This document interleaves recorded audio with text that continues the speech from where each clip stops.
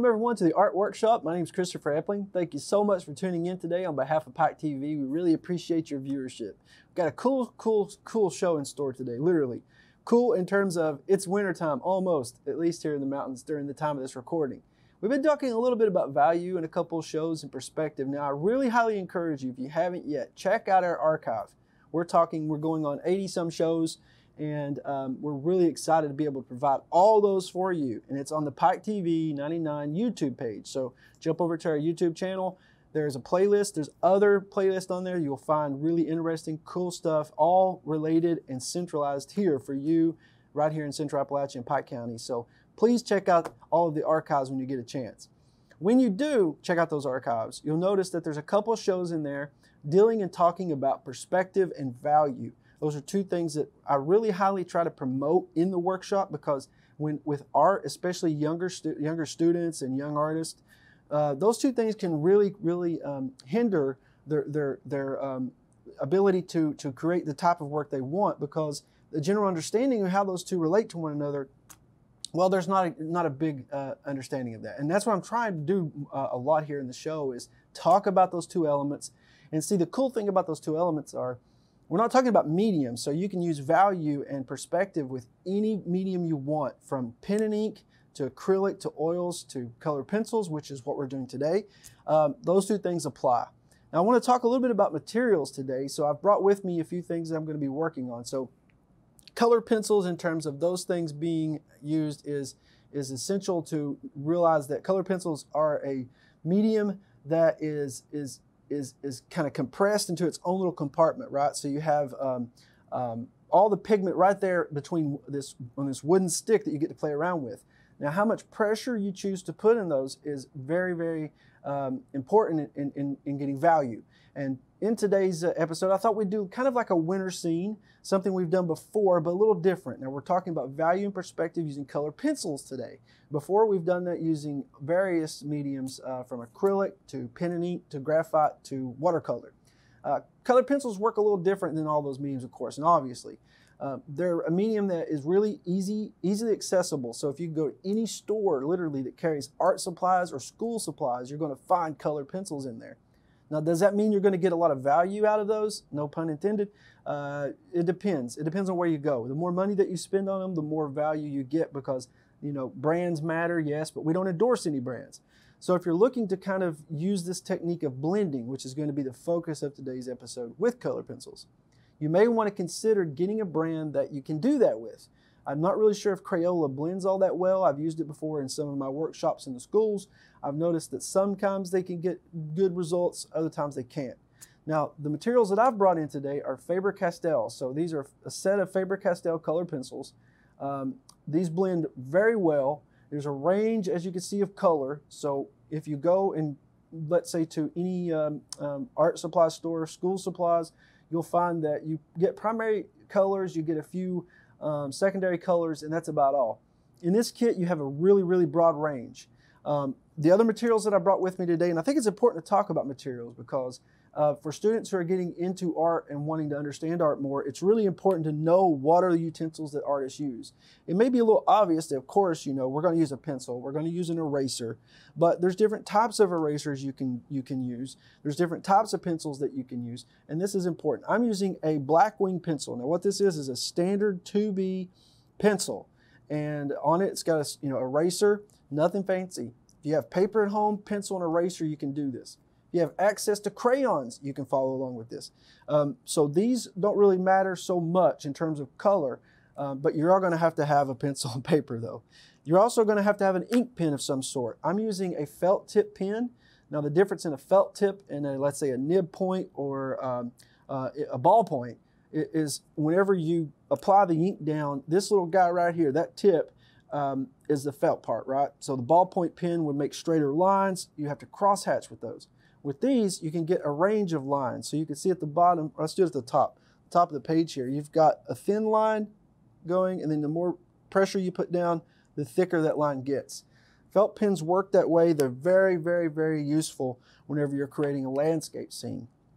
I'm also going to be using uh, a little bit of white ink in the form of this pen here. This is a pigment pen. This is a sign brand. It doesn't mean what you use, Uniball. Um, but this is just white ink. This will be used at the very end when we put snow effect. If this doesn't work well, I've also got a bottle of ink that is white that we'll try out too. So basically that's my utensils. If you have a pen, pencil, eraser, paper at home with something to put color down, you're gonna be able to follow along, okay? So let's go ahead and get started in today's uh, exercise. This is going to be a winter scene and all you have to do is take your paper, position it so that it's more tall than it is wide, and follow along with me as I make my lines, you create yours, okay? The first thing we're going to do is establish what's known as our perspective. Our perspective, imagine if you will, you're standing, and this is a window pane, you're looking out into a field during winter. It's snow has fallen, you have about a foot of snow on the ground, there's some pine trees there, and let's say the sun is setting so that is our environment we're working in. Now we have to establish our perspective. Perspective means how are you seeing what's outside this window pane, okay? From what perspective are you looking at, looking at these elements? So we'll do this. Let's first draw our snow. Real simple. Start on the left-hand side and bring a line coming across and going down towards the right-hand side, just like that. So this is kind of like a little embankment of snow. Good thing about snow is when you're working with white paper is that once you've established a line or two, you've already got the white you need for the snow. But we're, we're not going to cheat that way. We're going to go a little bit further. Go ahead and add this line kind of coming up from where you left off here over to the right. So you have two lines and they kind of bend on each other. The sun will be setting, so let's go ahead right here and just add half a circle kind of right behind that embankment right there to show us where the sun is. Okay? Now, very lightly on your page, I mean very lightly, you want to erase this line in a minute. This isn't something that you're going to leave on your canvas or your paper. You're going to be creating a line that's going to be coming down into where the sun is. And the reason we're doing that is we're establishing our perspective. This is considered a vanishing point in art. So that means everything is kind of being sucked into that point. This is the furthest way you can see in this, in this drawing. This is the furthest element in this drawing, that sun. So if we were to draw a row of trees coming down, they'd have to follow that line going down towards the sun, okay? Same thing for the left-hand side, but watch this. For this, we're starting way up here and we're coming down towards the sun. So you hopefully you can see those two lines. Very, very, very lightly on your page, draw those lines. Now we're going to use these two lines as our guide marks. These are our um, establishing lines of where the tops of the trees will be in our, in our drawing. So what that means is start over on your right hand side and you're starting to put some trees in here. Start at the top, make like an arrow or an upside down V, and then continue to create these little upside down V's all the way down getting a little bit wider as you get towards the bottom. See that? How it's thickening out. It's, it's actually starting to uh, form a tree as you get to the bottom there. See? You can't really see a whole lot from this side. This goes off of our canvas. But you can add a few little lines there if you want. Now we're going to be following this line again, our establishing line, our guiding line, to show us where the next top of the tree will be. So here, same thing as you did with the first one. Going to come down towards the bottom, getting wider as you go down. Okay? And you can already see kind of how this flows down into this drawing. Now, try to make some different looking trees too. Some are thick, some are thin, maybe a few in behind it. So a couple right there. Just keep on adding more and more trees as you go down towards the setting sun. Now remember, as you're putting these trees in, the further away you get, the less you can see of the trees. Okay, so this tree here is going to be less detailed than our tree up in our foreground. Same thing on the left-hand side. We want to do the same type of lines that we made on the right. But this is going to be a little different though. This is where we have to kind of really imagine or use our imagination to place ourselves here looking out this window during winter. We're going to imagine that there's a tree very close to us here. The row of trees that are making up the left-hand side are harder to see. So that means this big one we're going to draw in a second is going to block the smaller ones going down more than this one did on the right hand side. Confusing, maybe a little bit, but it won't be when we get started if you follow along with me step by step. All right? First thing we're going to do, come to the top up here. Just like you created this V for this tree, do the same thing up here. We're going to come down, a lot, lot larger this time though, see? This is literally this tip of that tree now is right here on our left hand side. We're going to keep kind of widening it out as we go down, making it thicker and thicker as we get down towards the bottom. Now we're going to come all the way down to right there. Notice how this tree kind of bends out towards the left a little bit. This tree behind it now, we can't see very much of it. And so on and so forth, all the way down the line. Place your pine trees kind of right behind one another until you get to the point where you see the sun. Okay? So that's how we establish perspective. Now, once we've used these establishing lines, these guiding lines, we can get rid of them, right? We don't need them. So I'm going to erase mine here and a few more of the little lines I made in this area. Erasing is very important too because sometimes we add things and then we want to keep them there for a second to use them and then get rid of them. All right? That's uh, something that we have to do in art. We have to establish our own rules, sort of, and then we have to play by those rules. So our rules for this drawing is that the trees come in this line towards the sun on the left, and then a wider view from the ones on the right. Now we've established our setting, we've established our perspective, we've established the elements or the composition in our piece. What we have to do from this point now is start using our tools over here to create our color. One rule of thumb always when it comes to creating art using colored pencils is go light to dark. Go light to dark on each segment of your art. So the first segment I want to work on is the sky coming up this way. You can use your pencil if you want to, and you can kind of create some cloud lines in here. And what this is going to be is going to it's going to be horizontal lines going back and forth very lightly on your page. Kind of just move it around, make shapes that kind of resemble clouds, back and forth, all the way down into the sunset, okay? The reason I like to go ahead and create those lines is think of this as like a coloring book page, but you created it, right? So you've established what everything will be in your drawing, but now you get to color your own coloring book page. Having these lines here help to show us where we'll break up our color. It's not necessarily things we want to keep always till the end of our drawing. Now I'm going to use a yellow first, and what I'm going to do is I'm going to color in where the sun is, and you're barely going to be able to see this yellow. It's a very light yellow. If you do not have, a, let's say, variations of yellow in your color pencil set or whatever you have at home, just use one color and press down lightly to get a value of that color. Does and then as you're going out, up, press down a little bit lighter so you're getting a lighter value. Basically, the harder you press down, the more color you're going to get, right? So Keep that in mind as you're coloring your piece. So I'm going to take this yellow now in between my trees. and I'm going to bring it up into the clouds a little bit. So the light of the sun is being blocked out some by these trees. So we're not going to worry about coloring those trees just yet. But we want to add as much yellow as we can leading down into where the sun is. There we go. We've got some yellow on there. Now we can start to work with the rest of our uh, piece. I'm to put a little bit at the top too, maybe going around the edges.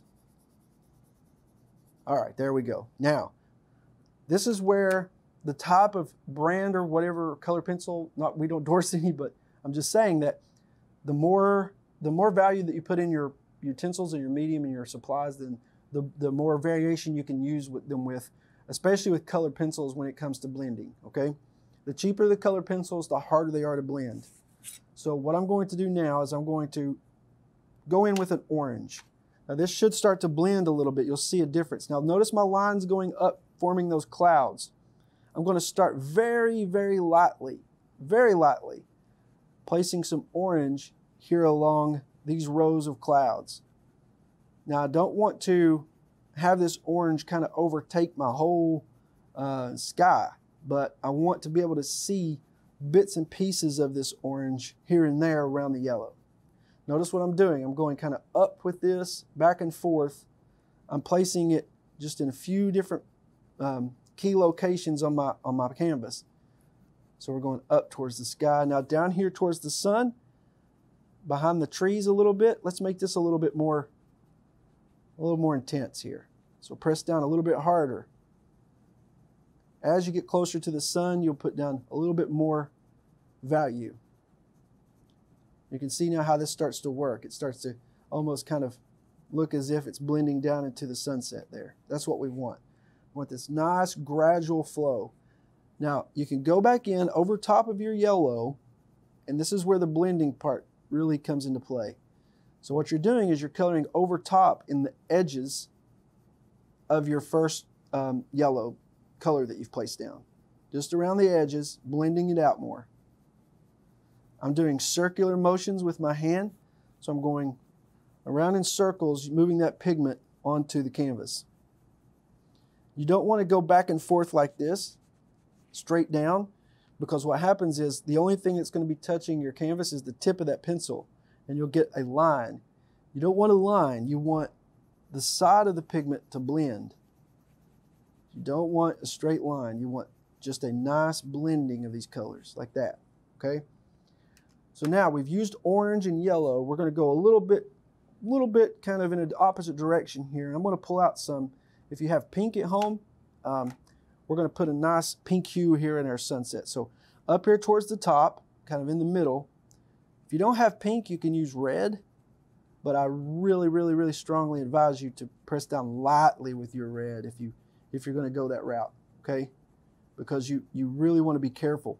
Um, this is a stronger color, especially with you know if you have like a just a regular solid red. It's a very strong color, so it will overtake the other colors around it.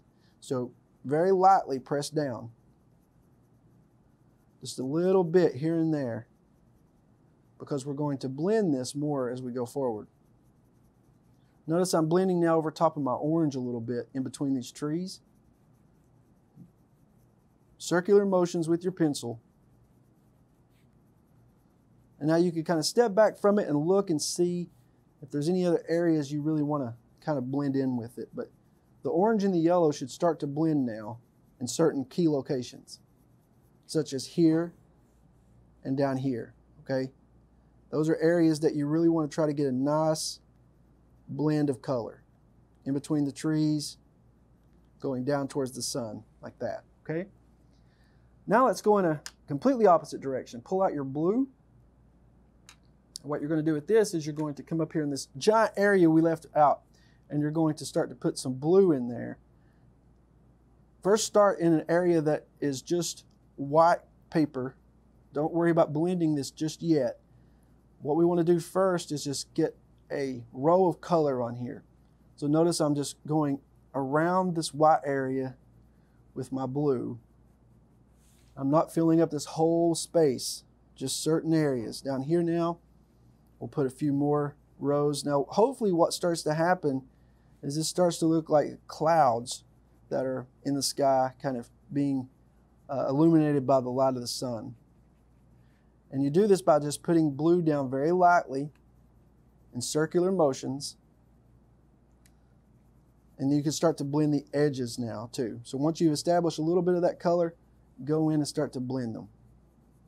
Now you're going to see this go over top of the yellow some. And what this does is it evenly distributes the color on your canvas.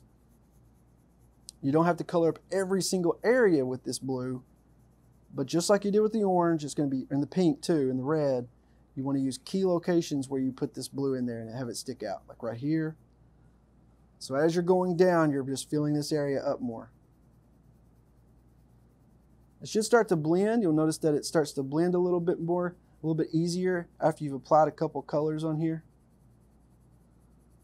Now the goal is to get this sky to easily transition from this golden rays of sunshine up into the blue, the blue area of the, of the atmosphere. See? If you go around the edges that you've already created your lines with, you should be able to get this effect. Down here too, Go across the back of the trees. So we should be able to see more blue towards the right hand side of the page than you do the left once we're finished. There we go. Get inside all those little tiny crevices that you've created with the limbs of your trees. Now, once you've established that first line of blue, you can go back over it now and start to darken in certain areas, like in between here, a little bit darker, and then up here. There we go. We just want to make sure that we include some blue throughout this right hand page, side of the page. Now once we've done that, we want to jump in now. I want you to pull out a purple. If you have purple, violet, something close to that anyway would work. I'm going to use standard purple. I'm going to go inside down in the middle part here where this orange and yellow is really predominant we want to include some of this nice purple. This is where you start to follow your pencil lines more. So those little lines that you created at the beginning, go back and forth over top of those lines. What you should start to see is this starts to look almost like the different rays of the sun bouncing off different elements in the atmosphere, creating all these beautiful colors that you see in wintertime coolness of the air. A little bit down here, maybe towards the sun. Going up and behind the trees. Circular motions with your pencils. It helps to really kind of blend that pigment in uh, us. You can see how this starts to look a little bit more a little bit more predominant now as you're blending it. Behind the tree, off into the distance there, okay? Now the goal for this is now to start on our trees. For our trees, we're going to be using a darker color. Now what will happen is the whiter the snow with the sky in the background, the darker trees will offset that some, okay? So we're going to start out using a brown. If you have a darker brown, be good. You should have two, usually kits of what of color pencils come with a couple different browns. And what we're going to do is very lightly, very lightly put a coat of brown on these trees. Just going to go down, follow your lines, excuse me. All the way down the sides of your tree. This is, should be very lightly. This will be used now to blend a little bit later. Okay, so you're not going to you're not going to press down hard right now. Those trees that fall off way in the distance, those will be much darker later. We're just going to get a coat of color on here. Something like that. Now it starts to look like a silhouette a little bit. Come over here to these trees. We're going to do the same thing. A nice coat of brown. Notice how I'm following my lines. So I'll come down and I'll sketch over top of the pencil lines first, and then I fill in that section with the light brown. You want to make sure you coat all of your trees with the brown first before we start putting in any of the darker colors. All the way down towards the sunset. Now as you do this, you're going to notice that your trees start to look as if they're one big silhouette. And that's a good thing. That's not a bad thing because we want it to be silhouetted. Um, we're at the point right now with our art, we've established these colors down as kind of like our, our um, you know, our, our foreground and our background um, coating. And now we're going to jump in and put our detail. I'm going to pull out a green now. I'm going to pull out a dark green. And what we're going to do is we're going to start over on this hand side and you're going to now blend this in with your brown. You're going to color in the side that's farthest away from the sun first and then move in towards the sun. You kind of see what I'm doing. Starting over to the right, going in towards where the sun is. In a little bit, what we're going to do is actually jump in and use our um, felt pen. So the details of these trees will really pop out. But we need a coat of this color in here first. So go in now and just make sure that all of this is nice and silhouetted. It should look like one giant shape going down towards the sun. Brown and green whenever you put them together like this, establish a really nice undercoat for what we're going to do next. As of right now, though, it doesn't look like much, I know, but when we start to actually add more of the uh, darker uh, values, it will. But you need this as your undercoat. Keep all the way down to the bottom. On this side, what I'm doing is I'm starting on the side that's closest to the sun and moving out towards the left. Opposite of what you did on the other side. Okay, everyone, uh, you may notice a little bit of a lag there, but we had a fire drill right here in the studio, but we're back at it now. Everything's okay. Hopefully you are too at home and following along with me. Uh, you're going to notice as we're blending the colored pencils, now this approach um, that I'm taking on this is a little different. So let's say if we were to uh, blend every little tiny area, pulling in all these different values with color pencils, that's possible. You can do that um, to get a nice kind of realistic transition. My stuff's more illustration based, so I like to do work that is kind of um, a little bit impressionist.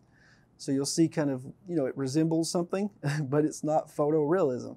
And I think that's the best way to learn though, because once you have these general kind of techniques down where you're working and blending in a general fashion, you're able to take those techniques and then go and actually create something that is kind of like photorealistic. What I'm doing now is just filling in more of the black. So I'm outlining my trees more, trying to get more of this silhouette. You'll notice the trees that are further away from us in our window pane here, they're going to be darker. They're to be harder to see. And not to mention, they're silhouetted by the rays of the sun. So in between your trees, you can add some more um, solid shapes that form, that form the pine trees. Now let's work on this side up at the top. I'm just going to bring lines that kind of come down and shoot out from the tree. I'm following the general lines that I made originally, those first lines that you use with your pencil. I'm following those first. And then I can add my detail in. So we'll bas basically just be continuing with that so that we're able to get that nice flow of the line moving in towards the tree. Okay, now I'm going to go ahead and go down the line here, and then we'll go back and we'll fix it up. Down, all of the shapes that I made originally, adding a few more maybe silhouetted here and there. Be sure, though, that you outline your trees and then go back in with your detail. Now, I'm adding a little bit of black shadowing. Now, kind of pay attention if you don't mind where I'm placing this. I'm putting this on the farthest left-hand side, and then as I move in towards the sun, we're going to lessen this effect. The reason for that is we have the light of the sun that's going to be hitting portions of these kind of limbs sticking out.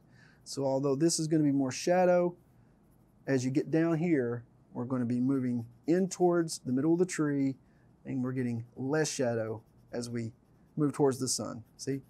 And you want to do that all the way down the side of your pine tree, even at the bottom down here. Leave a little bit of light in there. Make sure your edge, making up the farthest left-hand portion of the page, is nice and silhouetted in like that. Because this portion is going to be the portion that is more hidden from these rays sticking out, if that makes sense.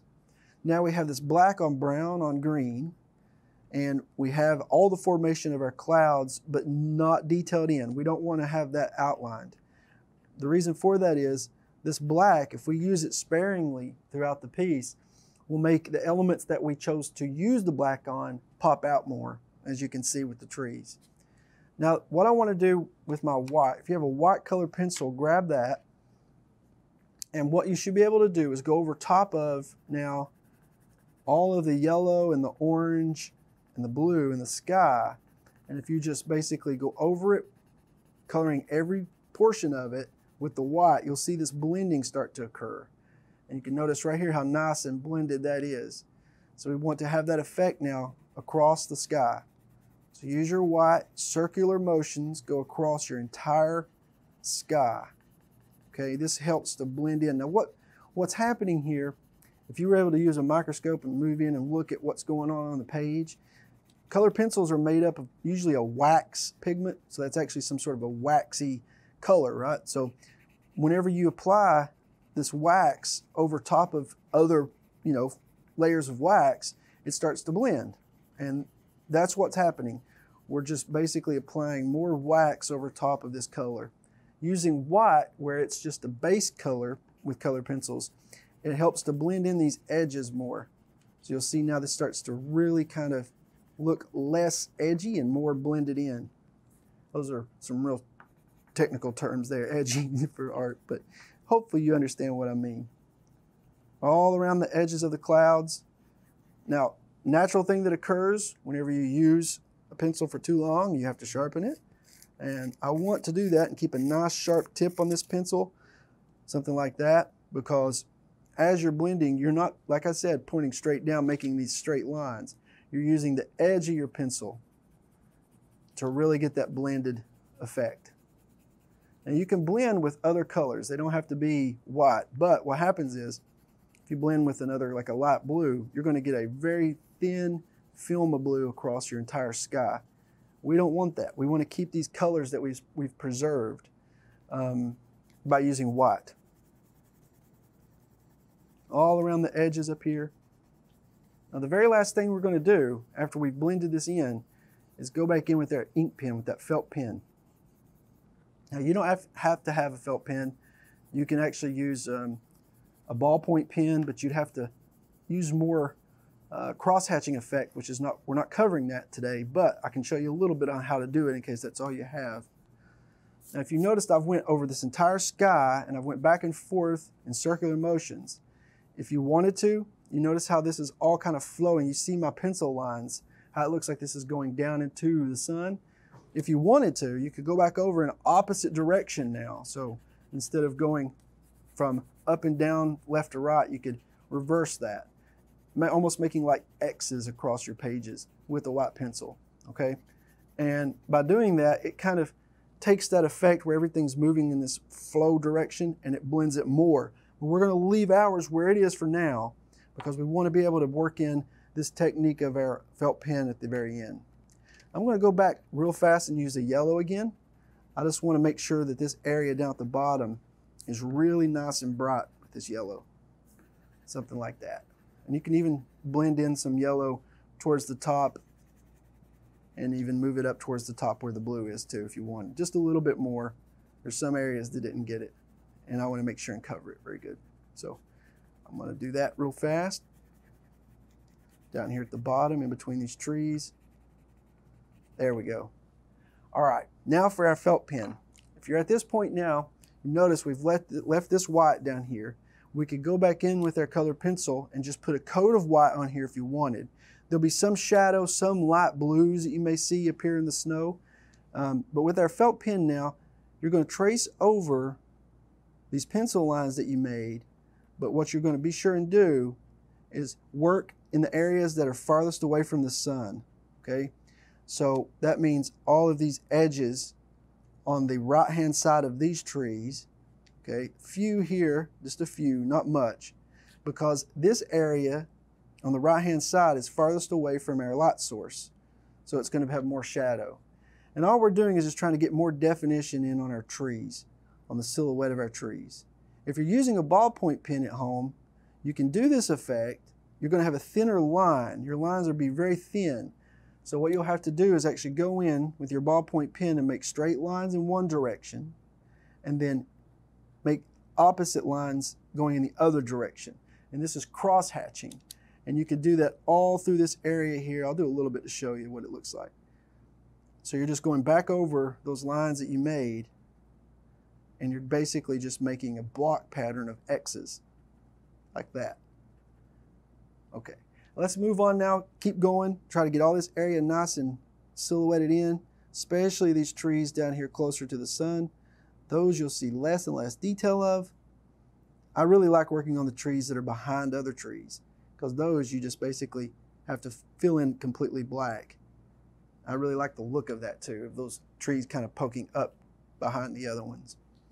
These rows of trees over here follow the same kind of technique as the, as the ones on the right. So you, but it's it's flipped. So where we darkened in this area that is closest to uh, farthest away from the sun, we're going to be blocking in the area that's farthest away from the sun on this side. So that means we're going to be working from left to right because here's our light source and the sun isn't hitting this area of the tree. So just put some lines in there, moving out towards the middle, something like that. And then go down the row behind it the same direction, filling in all of the left-hand side of the trees. What you're going to be left with here in a second is this silhouette pattern of these trees with the snow and the sky. And the last thing we want to do is use our color pencil again, use the white one, and we're going to get it nice and sharp because even though we could get away with having this be blank, right? There's nothing there. Um, I do want to fill it in with some white, even though you can't really see it all that well, because the last thing we're going to do is put a little bit of shadow in here. I think we'll go ahead and do that. So I'm coloring all this area with my white color pencil. And the snowbanks, even though these are white, we're going to see a little bit of color popping out. So right here in a second, after you get that area nice and filled in, and you'll see that it'll pull some of your pencil line down too, helping with shadow. We're going to use a light blue. Okay, so grab a very light blue color you have. It doesn't matter. It doesn't have to be the exact one that I'm using. And we're going to put a little bit of shadow in here. The shadow for this is going to be very light, circular motions. Start towards the back. And as you're moving towards the sun, you're going to make this thinner and thinner. Okay, see how that works? Over here, this area is going to be darkened in, furthest away from the sun. Very lightly come towards the center. There we go. So it gives us the effect that there's a shadow. And the blue really helps because, you know, the, the snow is, is water and, you know, we can use this blue kind of as a reflection of maybe some of those little crystals in the snow being blocked out. And we do have like snow banks here too. So we have this one overlapping the other. And you could darken that in a little more if you wanted to really kind of get the effect that maybe it's right at the edge of dark. Um, it's up to you on how much detail you want to put in with this blue. But you could keep working that and blending that nicely so that it gives the effect that there is uh, some shadow there. Okay, Going over it one more time with white will help to get those edges softened up so that it doesn't look so much like pencil lines or crayon marks. It looks more like a nice flow of color. Now you're not going to be able to do this completely perfectly, but it will help a lot. And you'll see how it works once you start to put it down on your paper. So hopefully you have access to color pencils. I really highly encourage you to play around with them. See what sort of effects you get from blending certain colors together. There's a little bit of a smudge right there, but we'll be okay. But as you can see, we've used color pencil with pen and ink and we've blended this nice little scene that we would imagine seeing looking out the window sometime in later on in the year. They're towards winter time. So I'm going to take this tape off. This is my favorite part actually of doing drawings where I block them out with tape. If you have painter's tape or masking tape, you can frame your picture up a little bit. Then when you pull that tape off, it looks like a nice square. And let's see here if I can't remove the bottom. There we go. That's exactly what we wanted. We want that nice flow of going into the white. Always sign your work. And so you know when you did it and who did it too, right? I hope you enjoyed today's episode. This has been a fun one for me. I love this time of year. I love working with color pencil. I love also watercolor, which you see we use um, on a few videos. Be sure and check out our archive. I mentioned at the beginning of the show, but it's um, a really, really vast, cool um, collection of videos and techniques in art. Basic, just basic drawing and um, uh, having fun with uh, different mediums.